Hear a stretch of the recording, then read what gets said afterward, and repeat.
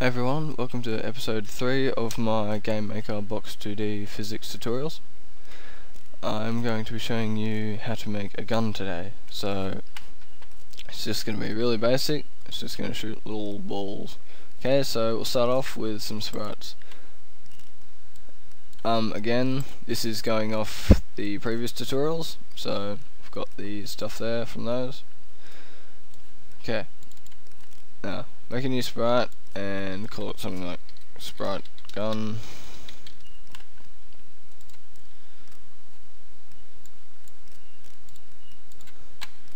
Yeah 32 will work.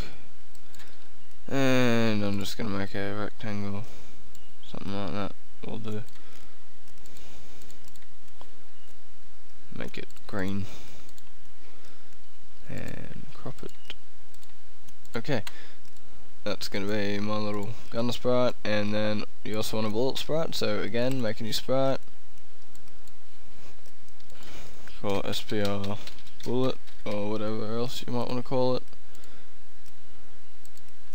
And my one's just going to be 16 by 16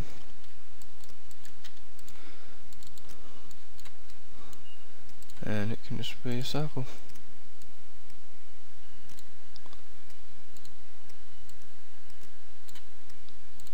Okay. Okay. Now, first object we're going to do is the bullet. So, make a new object. Name on object bullet. And then give it the sprite. Tick uses physics. Circle collision shape. And parent it to the dynamic parent. Okay. Now we want a object for our gun as well, so make another object, call it obj gun, or whatever else you want to call it, and give it sprite. Now this isn't going to be using physics, this is just for shooting. Okay, um, first thing you want to do is get a create event going. So, get a create event, I'm just going to make it small. Shrink that down a bit, yeah. Okay, create event and put in a code block and then I'm going to make two variables, one called P for our shot power, so I'm going to set mine to 3000 and one called A for our aim. Okay.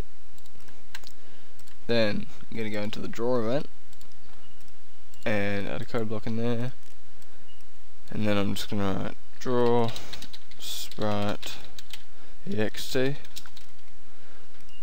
then sprite index image index x and y.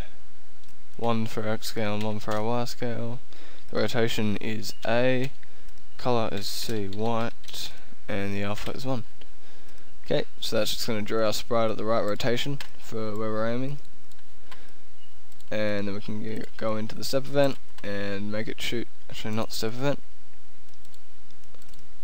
Cancel that yes the step event. Okay, step event. So A equals point direction X and Y and then mouse X and mouse Y. And what that does is it sets our aim variable to point at the direction from this object to the mouse. Um, something cool that they've just added in GameMaker recently with a new update, don't know if anyone else has found this yet, but you can have multiple code blocks open at once now. So uh, I've got one there and I can have one here as well. So you can edit um, multiple things at the same time. So that's pretty handy. Anyway. Okay. Mouse and then you want global mouse. Global mouse and then I'm gonna go with left pressed for mine. And then just put in another code block. And now we can make it shoot. So, when the mouse is pressed, we want to set variable i to the instance ID, so instance create x, y, and object bullet, just like that. Okay, then we want to apply a force to the bullet to make it move, so I'm going to go with i so the object that we just made, and then I'm going to go physics, apply impulse, and then we use this impulse to send it on its way. Okay, x and y position, it's just going to be x and y. Now remembering that using with i, we go we pretty much go into this object and this code is being executed inside this object. So yeah, anything we write in here, so variables, these variables no longer apply to the object that I'm writing this in, but the object i that will be created in the actual game. Okay, x impulse. So we want to go other dot p. Hang on, what's wrong? Sorry. Okay. x plus length direction x. Okay. Now for the length, we're going to go other dot p, and for the direction, we're going to go other dot a and then we pretty much just do the same for y except instead of x plus length direction x it's y plus length direction y. And then it's pretty much the same again so other dot p and other dot a. And that's it. Okay now using the other.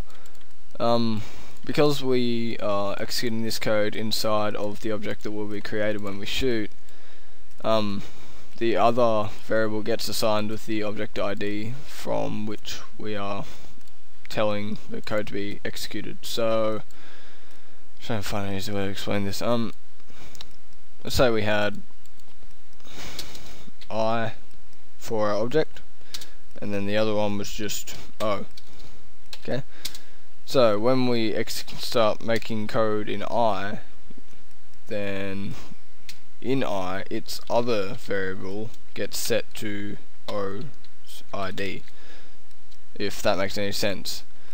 So o being the object that creates i, and then o's id is set to i's other variable. So I guess i dot other would equal o dot id. That kind of thing. Hopefully that makes sense. Anyway, um, yeah, that's it. So then we can just hit OK, and then we're just gonna put our gun into the room. So we'll go object gun, put that in there, and then we should be about to execute it. I just check something. Okay, I didn't center this, so I'm gonna do that. Just hit center, and the bullet I did center. Okay. Now we're ready to play. So run the game and as you can see the gun aims at a mouse, click and it shoots. Let's try and shoot that block off the platform. Um, yeah, we can make that swing more now as well just by shooting it. So yeah, it all works. Okay, I uh, hope you enjoyed the tutorial. This one was a nice little quick one for you um, like, subscribe. Again, set up a Facebook page, like that as well, if you can, please. I'll put a link in the description to it. And yeah, see you next time.